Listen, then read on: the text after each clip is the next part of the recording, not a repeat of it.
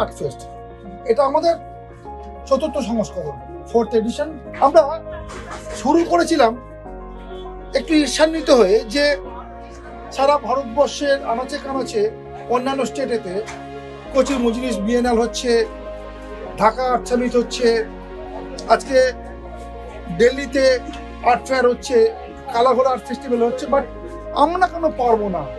একটা alternative art space খোঁজা একটা অল্টারনেটিভ আর্টের কথা বলা, শিল্পের কথা বলা, সাহিত্যের কথা বলা।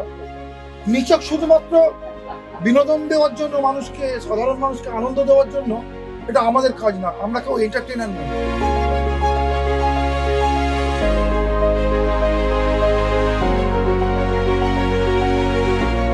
প্রথম বছর শুরু করেছিলাম সৌমেন্দ্রনাথ মজুমদার এবং দেবদত্ত গুপ্ত, আমাদের যে মডারেটর ছিলেন, তাদেরকে নিয়ে আমরা বেহুলা থিম নিয়ে কাজ শুরু করেছিলাম।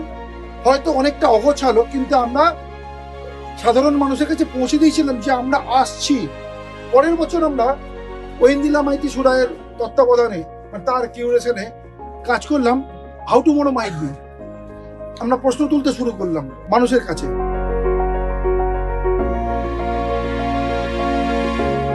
সেখানে আমরা সাড়া পেলাম, মানুষ কিন্তু আস্তে আস্তে করে ভয়টা কাটাতে শুরু করেছে, কারণ গ্যালারিতে কেউ ঢুকতে চায় না।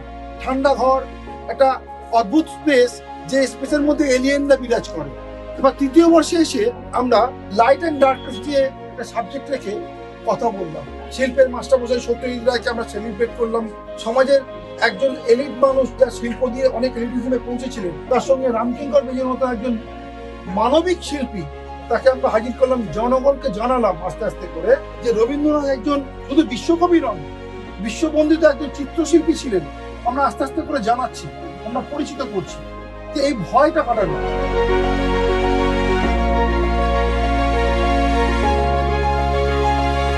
এবছরও আমরা চতুর্থ বর্ষে আর একটু বেশি রকম সাহসী পদক্ষেপ নিলাম।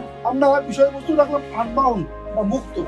আমরা গ্যালারির ঘেরাটোপ থেকে বেরিয়েছে কথা বলছি, কিন্তু আবার এখানে কিন্তু আমরা বাউন্ডারির মধ্যে যুক্ত হয়ে যাচ্ছি এই পরিসর থেকে। শিল্প আসলে মানুষের রক্তের স্রোতের মধ্যে শিরা ধমনির মধ্যে ঘোরাফেরা করছে।